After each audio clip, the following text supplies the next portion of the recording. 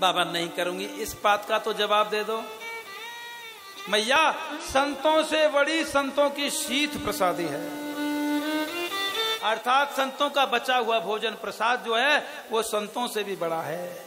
और आज उसका प्रत्यक्ष उदाहरण मिल गया कि संतों की शीत प्रसादी प्राप्त करते ही अजामिल का जीवन दर्शन पुनः बदल गया। खूब सेवा की। रात्रि भर कीर्तन हुआ, आनंद के साथ जागरण हुआ। प्रातःकाल फिर सेवा हुई और संत बोले, अजामिल, बेटा तूने हमारी बड़ी सेवा की है। बोल, तू क्या वरदान चाहता है? यह फूट फूट करके रोने लगा, महाराज, मेरा जीवन बड़ा गर्हित है, बड़ा निंदनीय है। मेरा कैसे उद्धार होगा? मैं तो मेरा जीवन कुकर्मों में निकल गया। ऐसा कौन सा दुष्कर्म है जो मैंने नहीं किया? चरण पकड़ लिए। स्वभाव से कृपालु संतों ने उठा करके अजामिल को हृदय से लगा लिया, बेटा, हो गया, सो हो गया, अब मत करना। चिंता मत कर, तेरा जीवन बदल गया। और तुझे शुभ गति की प्राप्ति होगी। सुन, अब हम चलते हैं। और मालूम पड़ता है ब्राह्मणी गर्भिणी है। वैश्या को ब्राह्मणी का मालूम पड़ता है ब्राह्मणी गर्भिणी है। और इसके गर्भ से बेटा पैदा होगा। सो भैया अजामिल तुम अपने बेटे का नाम नारायण रखना। बोलो भक्तवत्सल भगवान की। और ऐसा कहकर कीर्तन करते हुए पुनः संत जिस उद्देश्य के लिए आए थे, उसको पूर्ण करके स्वस्थान को लौट गए। अब समय पा करके ब्राह्मणी के गर्भ से बालक का पैदा हुआ और यह लड़का पैदा हुआ। नाम भी सुनिश्चित था। अजामिल ने इसका नाम नारायण ही रखा। हम्म। न बचे को पंडित वेद पढ़े। ध्यान से सुनना। न बचे कोई पंडित वेद पढ़े। न बचे कोई ऊँचे चिनाए अटा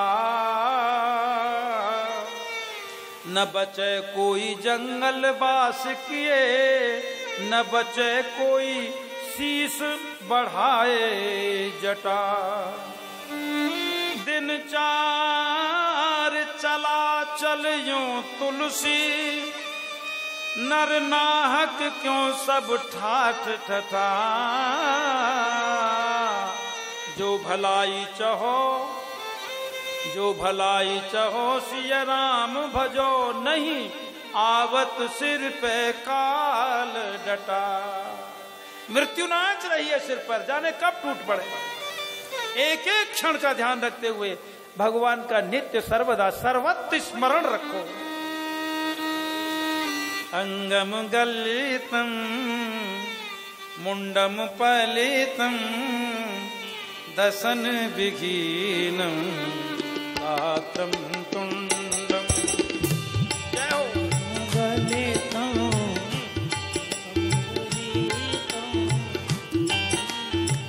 जय हो। अङ्गं गलितं मुण्डं फलितं दशनविहीनं पात्रं तुण्डं वृद्धो याति गृहीत्वा दण्डं तदपि न मुञ्चते। आशाः तदपि न मुञ्चते। आशाः अंग गल गए, सिर सफ़ेद हो गया, मुख में से दांत झर गए। वृद्धावस्था आ गई, चला नहीं जा रहा है। दंड का सहारा लेना पड़ रहा है। घुटने जवाब दे गए, लेकिन आज भी तृष्णा पीछा नहीं छोड़ रही है। संभलो और भगवान के लिए समर्पित हो जाओ। संपत्ति का बहुत बड़ा हिस्सा भगवान के शुभ कर्मों के निमित्त खर्च कर दो।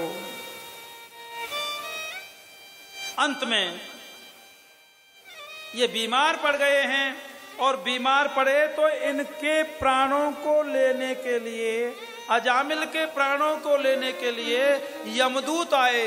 यमदूतों की जो भयंकर आकृति इन्होंने देखी है लंबे लंबे दांत, तीक्ष्ण नुकीले दांत,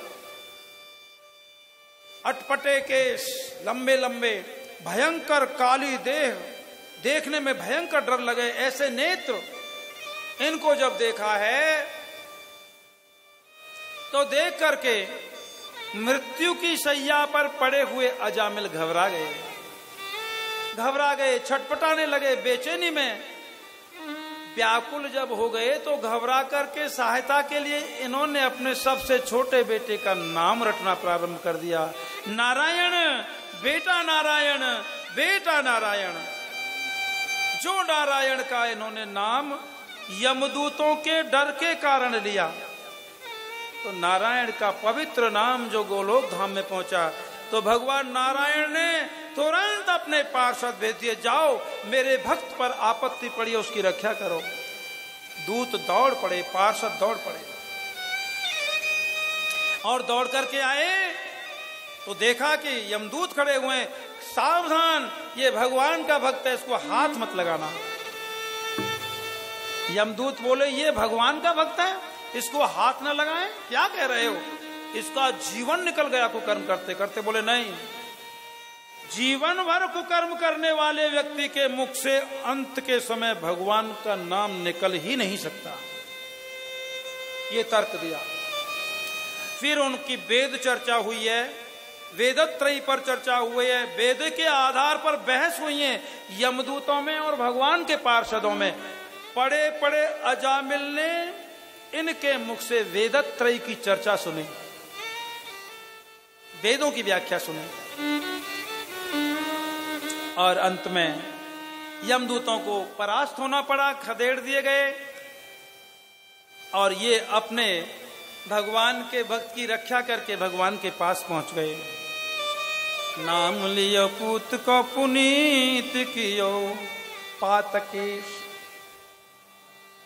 और इस तरह इसके बाद फिर बारह वर्ष और जिए अजामिल। और भगवत संबंधी कार्य करते हुए भगवत धाम को प्राप्त हुए। बोलो भगवत सल भगवान की। जिन तन दिया सोई बिसरायो।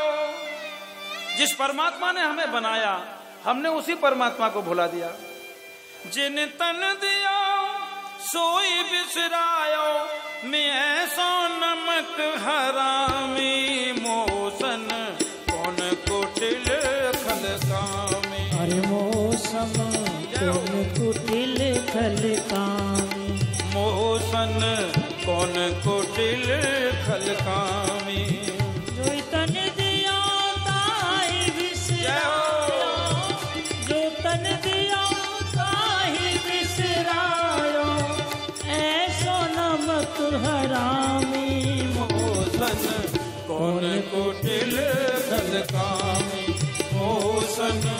कौन कुटिल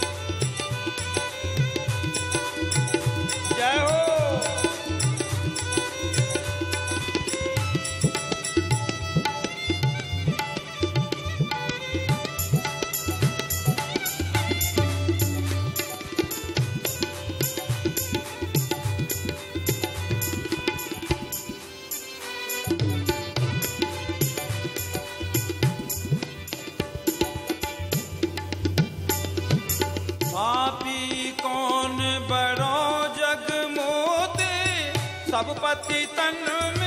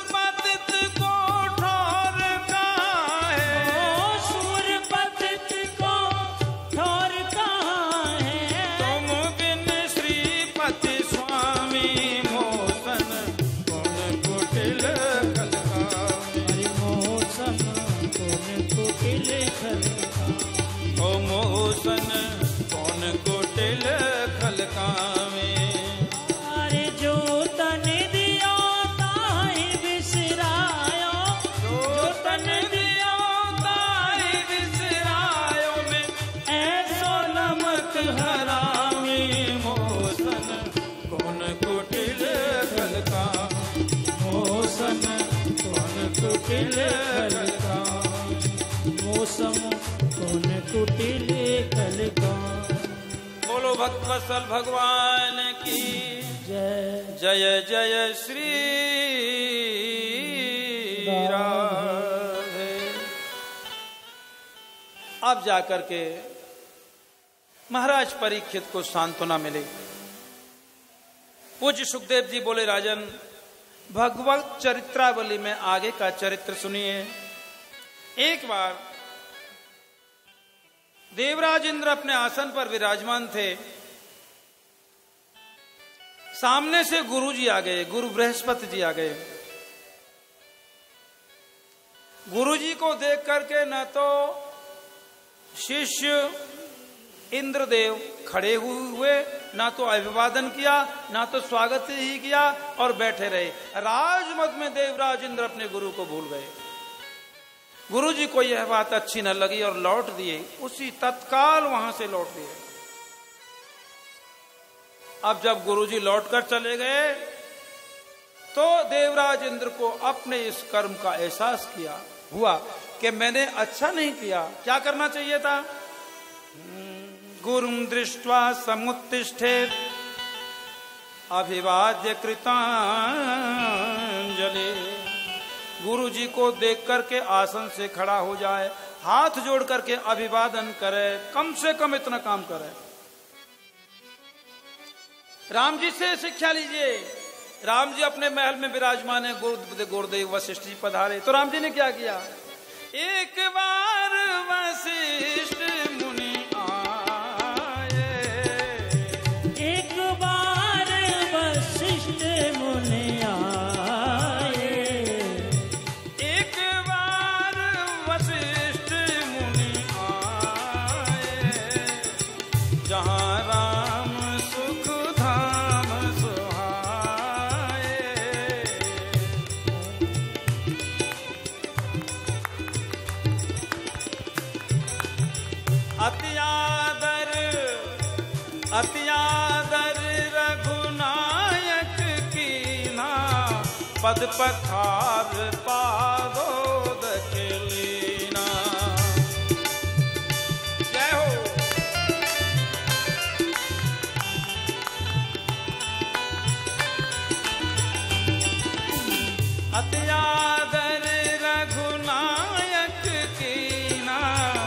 पद पखार पादोद के लेना।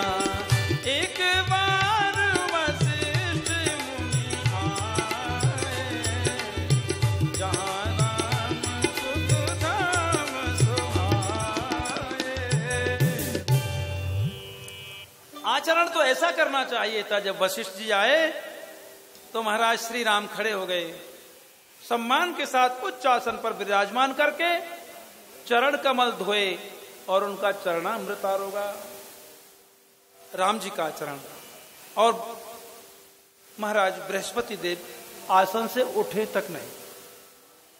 गुरु जी लौट गए। अब जब अपने कर्म का एहसास हुआ तो ढूँढने की कोशिश की, लेकिन मिले नहीं। मिले नहीं तो देवताओं की इस कमज़ोरी का शुक्राचार्य जी को पता पड़ गया। पता पड़ गया तो शुक्राचार्य जी ने कहा, जिसका गुरु रूठ जाए संसार में, उसको सहारा देने वाला, उसको बचाने वाला कोई होता नहीं। गुरु रूठ गए हैं, आक्रमण कर दो, आक्रमण!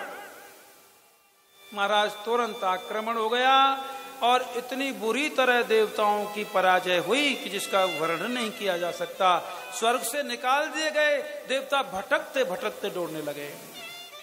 दुखी देवता ब्रह्मा जी की शरण में गए। ब्रह्मा जी ने कहा कि ठीक है, आप गुरु के बिना तो काम नहीं चलेगा गुरु जी मिल नहीं रहे हैं, खूब ढूंढा जा रहा है तो ऐसा करिए। विश्वरूप के पुत्र त्वष्टा को आप अपना गुरु बना लीजिए। अगर वो तुम्हारा गुरुत्व स्वीकार कर लें तो उनकी बताई हुई विद्या से तुम पुनः जीत सकते हो। महाराज, ऐसा ही हुआ। त्वष्टा जी के पास गए। ये त्वष्टा जी की जो माँ थी, रचना जिसका नाम था, ये दैत्य की बेटी थी। और विश्वरूप की माँ दैत्य की बेटी थी और पिता इनके ब्राह्मण थे, त्वष्टा जी। त्वष्टा पुत्र विश्वरूप के पास गए कि महाराज, आप हमारा गुरुत्व स्वीकार कर लीजिए। आप हमारे पुरोहित बन जाइए। और यज्ञ कराइए ताकि हम अपने दुश्मनों को जीत सकें। ऊपर कर्म, ओ कर्म अति मंदा।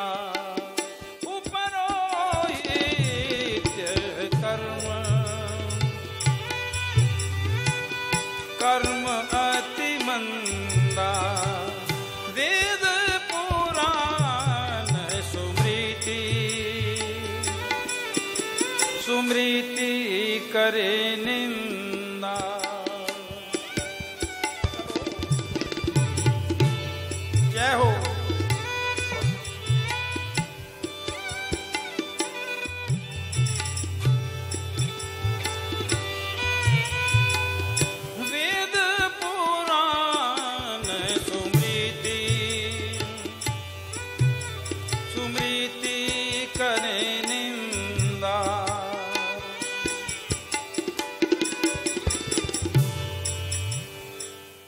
महाराज, ये पुरोहित का कर्म तो अत्यंत निंदनीय है, गर्हित है।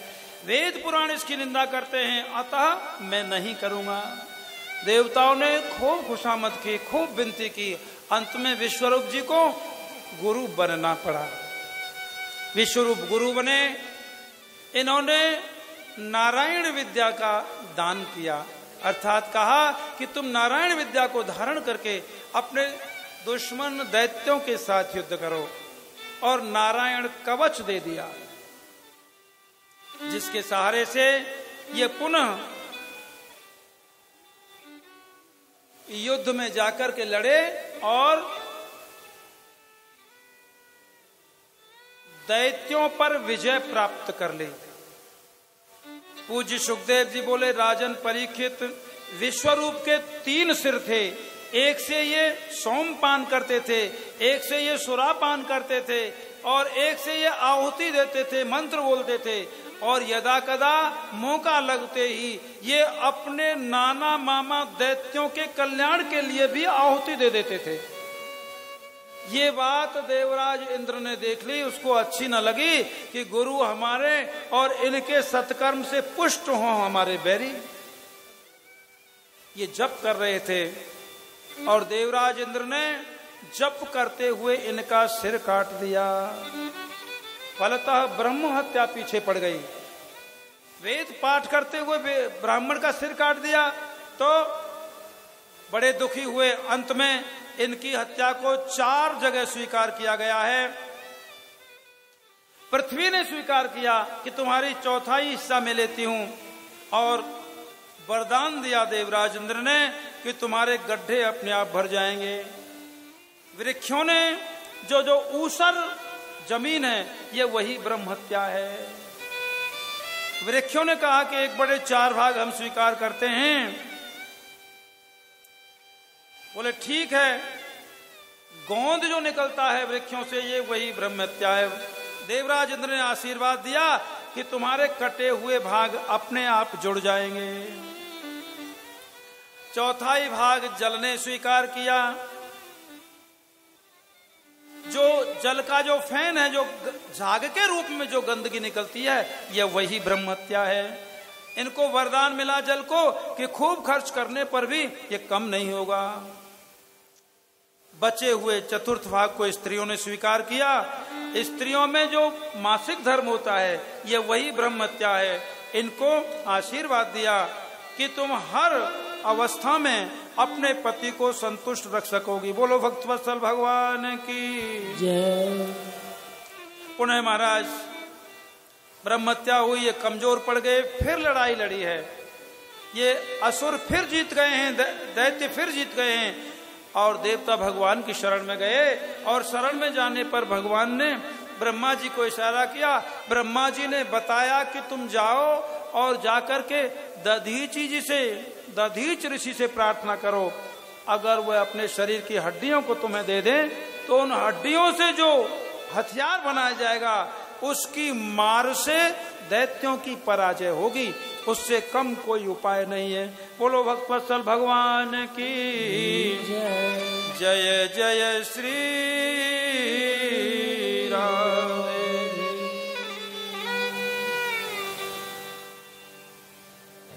श्री राज धरण की, श्री राधा गोविंद भगवान की जय। महाराज, देवताओं को इशारा कर दिया ब्रह्मा जी ने कि आप जाइए और दधीची महात्मा से आग्रह करो, प्रार्थना करो। अगर वो तुम्हारी प्रार्थना स्वीकार कर ले तो तुम्हारा काम बन जाएगा। समस्त देवगण इकट्ठे होकर के दधीची जी के पास गए। अब देखिए, दधीची जी कौन है? दधीची जी अथर्वा ऋषि के पुत्र हैं। ये ब्रह्म विद्या के जानकार हैं। ब्रह्म विद्या का एक बार ये इंद्र के लिए प्रवचन कर रहे थे। देवराज इंद्र के लिए दधीची ऋषि ब्रह्म विद्या का प्रवचन कर रहे थे। और इंद्र बड़े आनंद के साथ श्रवण कर रहे थे, ब्रह्म विद्या को हृदयंगम कर रहे थे। वर्णन करते करते ऐसा प्रसंग आ गया, जिसमें ये सिद्ध हो गया कि देवराज इंद्र और कुत्ते में कोई अंतर नहीं है। ऐसा प्रसंग आया। जब देवराज इंद्र के प्रति ऐसी बात निकल के आई तो देवराज इंद्र क्रुद्ध हो गए। और क्रुद्ध होकर के फटकारते हुए, आँखें निकालते हुए बड़े ऊँची वाणी में कहा, सुनो ऋषि जी, अगर भविष्य में तुमने यह विद्या किसी से कही तो मैं तुम्हारा सिर धड़ से अलग कर दूँगा। और बड़बड़ाते हुए इंद्र चले गए। बोलो भगवत्सल भगवान की कालांतर में दधीची ऋषि जी से अश्विनी कुमारों ने ब्रह्म विद्या सीखने की प्रार्थना की। दधीची महात्मा ने साफ़ मना कर दिया, भैया, अगर मैंने तुम्हें उपदेश किया तो मेरा सिर कट जाएगा। अश्विनी कुमार बोले, महाराज, चिंता मत करो, इसका उपचार तो हमारे पास है, देवराज को सिर काटने दो। बहुत प्रार्थना की। ऋषि दयालु दधीची जी फिर तैयार हो गए। तैयार होते ही अश्विनी कुमारों ने ऋषि दधीच का सिर काट दिया और सामने चल रहे घोड़े का सिर काट दिया। अब घोड़े का सिर दधीची के धड़ पर और दधीची का सिर घोड़े के धड़ पर रख दिया और दोनों जीवित हो गए। जीवित होकर के महाराज दधीची जी अश्वमुख से ब्रह्म विद्या का उपदेश करने लगे। अश्विनी कुमार बैठे हैं सामने। जब ये उपदेश करने लगे तो यह खबर कानों कान देवराज इंद्र के पास पहुँच गई। देवराज इंद्र बड़बड़ाते आए और उपदेश कर रहे अश्वशिरा दधीची अब इनका नाम हो गया अश्वशिरा अश्वशिरा दधीची का सिर आते ही धड़ाक से काट दिया। और बड़बड़ाते हुए चले गए। अश्विनी कुमारों ने क्या किया? कटा हुआ सिर लिया। उधर में जो घोड़े के धड़ पर दधीची का सिर जोड़ दिया था, वह भी लिया। पुनः दधीची जी के धड़ पर दधीची का सिर लगा दिया और घोड़े के धड़ पर घोड़े का सिर लगा दिया। पूर्ववत हो गए सब और फिर उपदेश करने लगे। बोलो, भक्तवत्सल भगवान की एक, दो देवासुर संग्राम हुआ तो देवता थक गए थे। युद्ध जीत करके अपने अस्त्रों को दधीची ऋषि के पास रख दिया। महाराज दधीची रक्षा करने लगे, दैत्यों को पता पड़ गई कि देवताओं के हथियार तो दधीची के पास हैं। ये मौका देखने लगे और हथियारों को, अस्त्रों को, शस्त्रों को चुराना चाहते थे। दधीची महात्मा को पता पड़ गया। उन्होंने अभिमंत्रित जल से समस्त अस्त्र शस्त्रों को धो दिया और उनका सारा अंश निकाल लिया और उस जल को स्वयं पी गए। यानी कि देवताओं के समस्त अस्त्र शस्त्रों का तेज और बल और काठिन्य सब उनकी हड्डियों में समाविष्ट हो गया। बोलो भक्तवत्सल भगवान की देवताओं ने ऐसे दधीची ऋषि से जाकर के प्रार्थना की। प्रार्थना को काफ़ी तर्क के बाद स्वीकार कर लिया। पहले तो उन्होंने कहा कि मैं तुमसे प्राण मांगू, तुम्हारे तुम दे दोगे देवताओं? तुम मेरे प्राण मांगने के लिए आए हो। निरुत्तर हो गई। दधीची मुस्कराए। बोले, कोई बात नहीं। अगर इस नश्वर शरीर से सदा अमर रहने वाला यश प्राप्त होता है तो मुझे कोई आपत्ति नहीं। ले जाओ। सांस खींच ली, ले गए जाकर के वज्र बनाया है।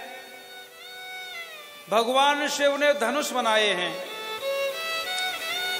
जनक महाराज जी के पास वही धनुष था। कंस राजा के पास वही धनुष था। देवताओं के पास जो वज्र बना है, वह भी इसी में से है। अर्थात ये भी महाराज दधीची की ही हड्डियों से बने हुए हैं। उन्हें संग्राम हुआ है। और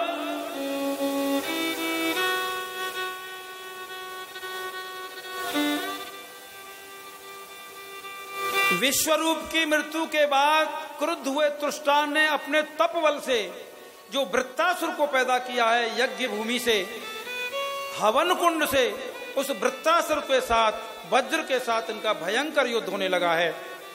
देवराज इंद्र वज्र को लेकर के वृत्तासुर के साथ युद्ध कर रहे हैं। भयंकर युद्ध हुआ है। तो देवराज इंद्र के हाथ से वज्र छूट गया है। जब वज्र छूट गया तो वृत्रासुर बोले, घबराओ मत राजन, उन्हें सावधान हो जाओ और अपने वज्र को उठाओ और इस समय मेरा मन भगवान के चरणों में लग रहा है। वज्र का प्रहार करो, मैं देह त्यागने के लिए तैयार खड़ा हूँ। ऐसा कहते हुए अब वृत्रासुर देखो क्या भगवान से प्रार्थना कर रहे हैं। ननाक पृष्ठम, न च पारमेश्यम न सार्वभौमं न रसाधिपत्यम्। न योग सिद्धि न पुनर्भवम् समज्जसत्वा विरहय्य कांखे हे प्रभु अहम हरे तब पादैक मूलम दासानुदासो भवितास्मि भूय। हे प्रभु, हे गोविंद, वृत्तासुर प्रार्थना कर रहा है, प्रभु, मुझे जन्म जन्मांतर में आपके दासों के दासों का दासत्व प्राप्त हो। अर्थात मैं आपके दासों का दास बनूं और मेरा मन सदा आपका स्मरण करता रहे। मेरी वाणी सदा आपके गुणगान करते रहे। मेरे हाथ सदा आपके लिए समर्पित कर्म ही करते रहे। न तो मैं स्वर्ग चाहता हूँ, न मैं परमेश्वर होना चाहता हूँ, न मैं धरती का राज्य चाहता हूँ न रसातल का राज चाहता हूँ, न योग सिद्ध चाहता हूँ, न सिद्धि सिद्ध चाहता हूँ। क्या चाहते हो? वृत्तासुर प्रार्थना कर रहा है। प्रभु, मैं तो यही चाहता हूँ कि मैं तुम्हारे विरह में रोता ही रहूँ, रोता ही रहूँ।